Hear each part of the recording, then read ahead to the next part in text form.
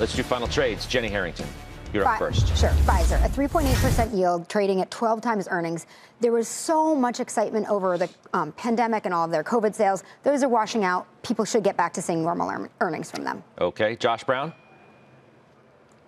Uh, VNQ, 3.5% yield with upside. All righty, thank you. And finally, Farmer Jim.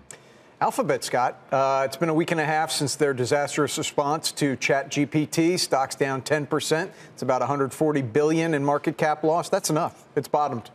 Well, you don't talk about uh, tech stocks all that often. It's just right there in front of us.